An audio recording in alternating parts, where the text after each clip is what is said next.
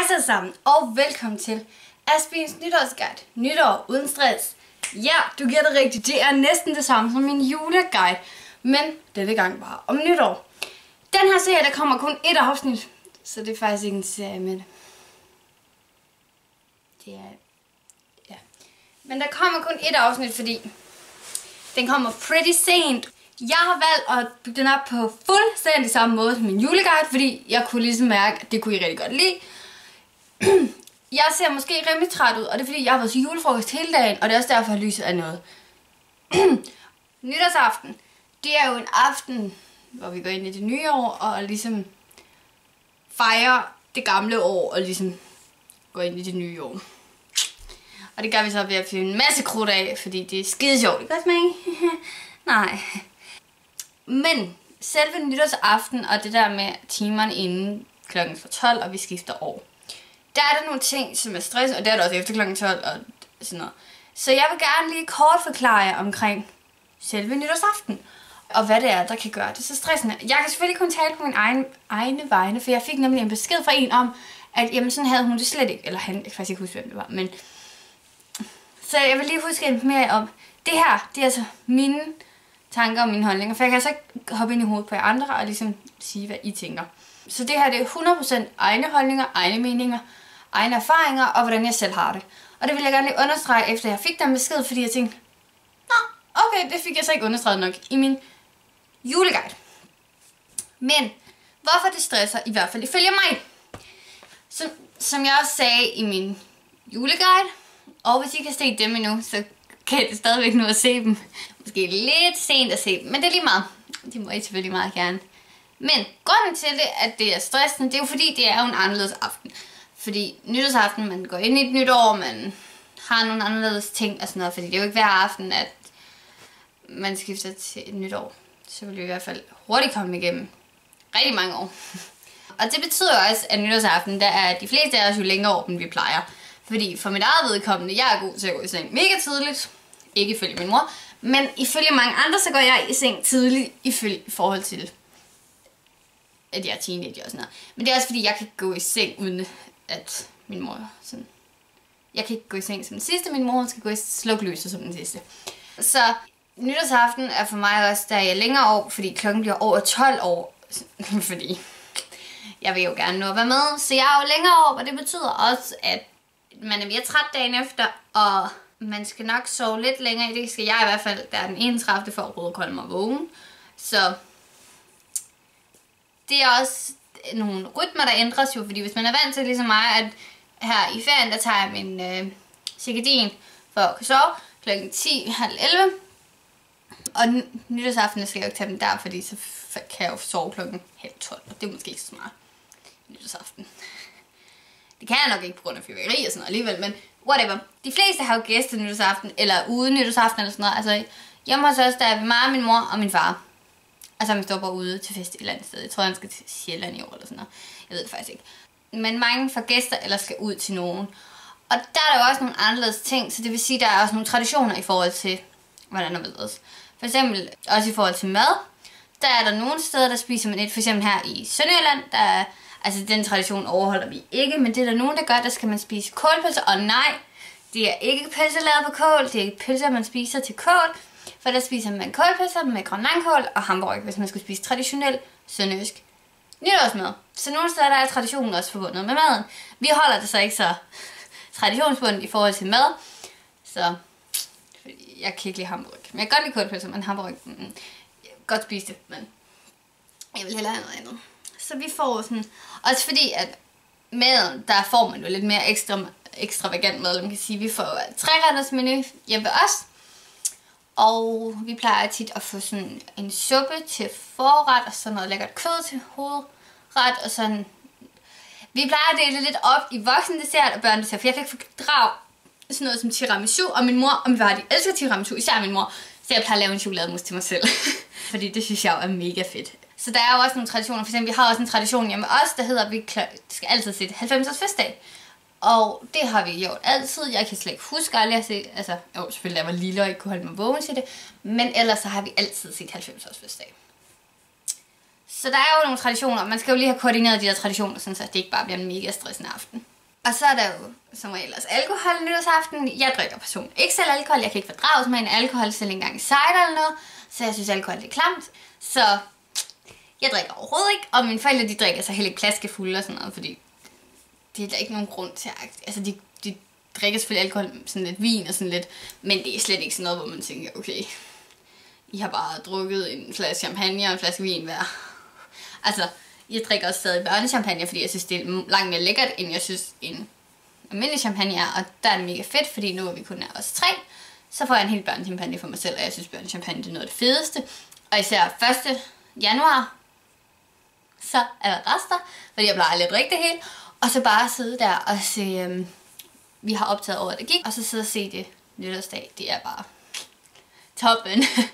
og nytårsaften, der er der jo fyrværkeri, og der er stjernekasser, og der er bordpumper, og der er knaldperler, og øh, und så videre, og så videre, og så videre. Og så er vi jo nogen, der ikke kan klare det. Jeg hader fyrværkeri, jeg er pissebange for fyrværkeri, jeg er aldrig ude nytårsaften. Jeg synes, det stjernekaster kan være uhyggeligt. Eller jeg synes, eller jeg er bange for sådan, jeg kan ikke lide stjernekasser, jeg kan ikke lide bordbomber, jeg kan ikke lide sådan noget. Så vi har slet ikke sådan noget, sådan, når vi kun er os tre. Så det kan altså også stresse helt vildt, at man ved, der er kl. 12, så er der bare alarm, og folk fyrer inden, og vi har rigtig dejlige naboer, både den ene og til den anden side, der elsker fyrværkeri. Yes! Not.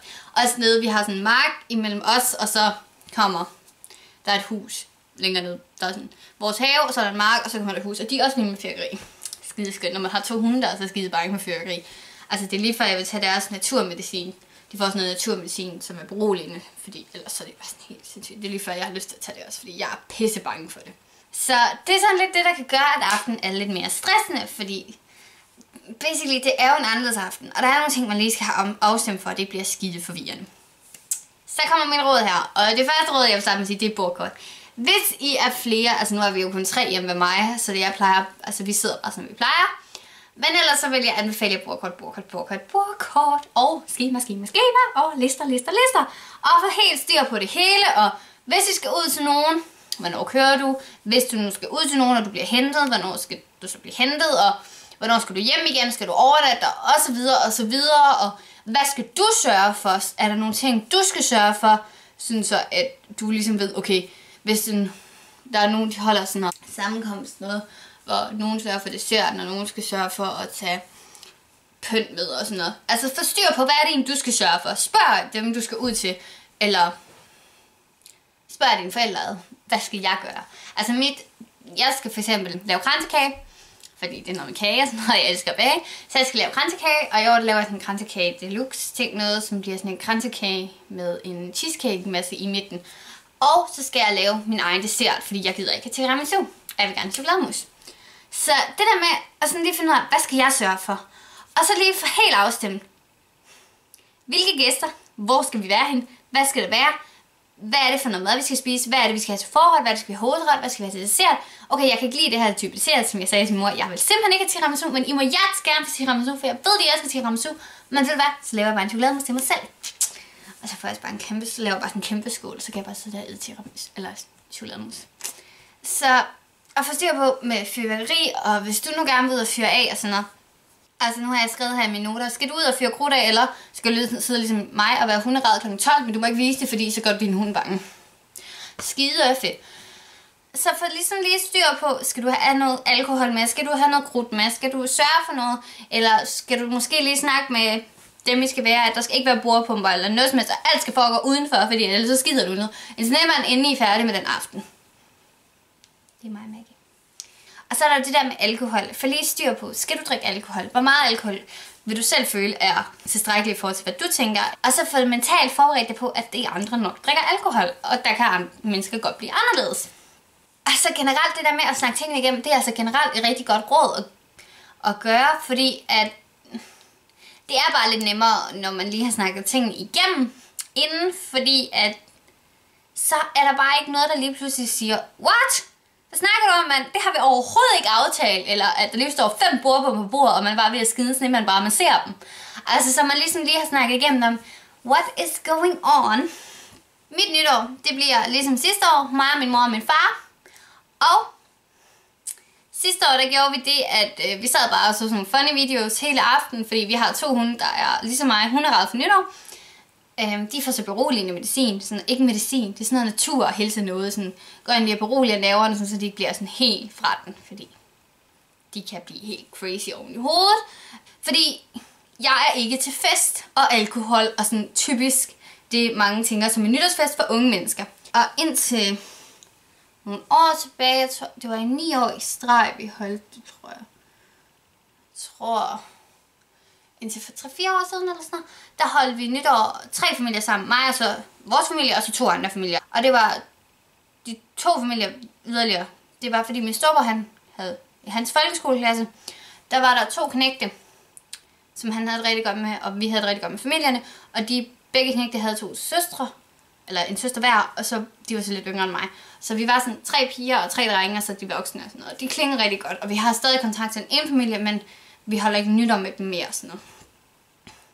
Også fordi, at børnene, hvilket man egentlig ikke kan kalde børn mere, fordi vi er i alderen 15 til 19 nu, så unge mennesker, de er mere til typisk nytårsfest for unge mennesker med alkohol og fest og farver og høj musik og sådan noget, som jeg bare ikke er med. Eller ikke er med, men ikke er til. Så jeg vil hellere være derhjemme, fordi jeg synes, det er mere... Jeg er slet ikke til sådan noget overhovedet. Så det er sådan det, jeg har valgt at sige, jamen så må det være sådan, som det er. Fordi jeg kan simpelthen ikke holde til det. Jeg hader nytår, kan jeg lige så godt sige, som det er. Jeg kan ikke fordrage nytår. Mig og Maggie, vi øh, plejer kl. 12 at sætte mig og sætte sig op i min... Jeg har sådan et bord her, øh, for min vindueskarm, det har jeg nok set i min vlogs. Jeg har sådan et bord for min vindueskarm, og der ligger vi så et tæppe ud og Maggies øh, kurv. Og så sætter vi os med lyset slukket, og så kigger vi ud, fordi at der er sådan mark og have og sådan. Og så kan vi sidde og kigge på nytårsskits, og så kan vi sidde sammen og hygge os. Og, sådan, og spise kransekage og sådan noget. Fordi man, der er mega god udsigt inden fra mit værelse af. Og det er det, jeg plejer at gøre, fordi jeg hader nytår. Og jeg hader, når folk de skal fyre nytårsskits af inden kl. 12 og inden nytår overhovedet. Dem der, der begynder allerede den sådan 19. Hvorfor? Det er ulovligt. Hvorfor fanden skal I gøre det? Det er, åh, jeg hader det, jeg hader det, jeg hader det. Øhm, også fordi, jeg må ikke vise, at jeg er bange for det, fordi når man har hund, og hvis man så pylder om dem, og ligesom viser, at jeg er bange for det, så bliver de endnu mere bange, og så bliver de endnu mere kulere. Og det er jo ikke særlig sjovt, hverken for dem eller for os. Så jeg hader virkelig klokken 12. Jeg synes, det er forfærdeligt, jeg synes, det larmer, og jeg er pissebange for, at der går ild i vores hus. Vi bor også i et stråtægtshus. Men som jeg prøver at sige til mig selv, med det, det hus her, det har stået med stråtæg siden 1854. Det skal nok holde. jeg synes bare også det der med, at nu hvor jeg er blevet så gammel, som jeg er, så vil jeg, det er sådan en ting, jeg har tænkt, jeg vil gerne vil sige, det er, der er altså ikke noget i vejen for ikke at kan lide de der fester, og ikke kan lide alkohol, og ikke kan lide at være ude, hvor der er høj musik og larm, og en masse mennesker, og det er altså helt i orden ikke at kunne lide det, og det er helt i orden at sige, hey, ved du hvad, det der, det kan jeg faktisk ikke lide. Fordi det er meget nemmere, hvis man ligesom får åben mund og sagt, ved du hvad, jeg har faktisk ikke lyst. Jeg har også en veninde, hun skal også bare være derhjemme sammen med sin mor og sin hund, fordi hun heller ikke er til det. Og ved I hvad, det er fuldstændig okay ikke at være til det. Der er ikke nogen, der tvinger en til, at man skal synes, det er det fedeste i verden, og være vild med nytårsskyt, osv. osv. Heller ikke fester generelt. Så jeg håber rigtig meget, at I kunne lide den her video. Og jeg ved godt, det kan være, at den er blevet lidt kludret. Men det er også fordi, jeg er sådan lidt ør i mit hoved og lidt træt i mit hoved, og jeg har lige fået nedsmældning over noget med aftensmaden og sådan noget. Så det kan godt være, at den er lidt kludret, og det beklager jeg rigtig meget. Men jeg vil rigtig gerne have den filmet, så jeg kan få den lagt op til jer. Og jeg håber, at I alle sammen har haft en super skøn jul og har fået nogle super skønne julegaver. Og jeg håber også, at I alle sammen får et super godt nytår og kommer igennem nytårsaften uden at skide en snemand alt for mange gange, som er Maggie. og så håber jeg, at I har nydt den her video. Og hvis I vil gerne vil have flere sådan nogle guides, eller måske en video mere specifikt omkring fester og hvordan jeg har det med det, så øh, skriv bare gerne ned i kommentaren. Så, men husk at like den her video, hvis I kunne lide den, og husk at følge mig på mine sociale medier. Jeg er jo både på Facebook og på Instagram, og jeg har en mail, som I hjertens gerne må skrive til mig på. I må også gerne skrive til mig på Facebook eller på Instagram direct. Jeg vil gøre alt, hvad jeg kan for at svare. Jeg håber, I har nydt den her video, og så ses vi bare i min næste video. Moin!